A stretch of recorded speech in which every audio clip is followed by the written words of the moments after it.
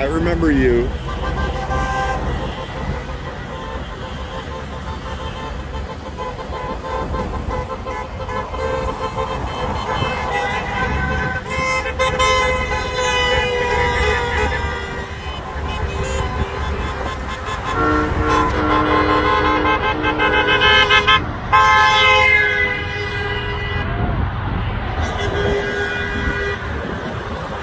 I'll get back to this.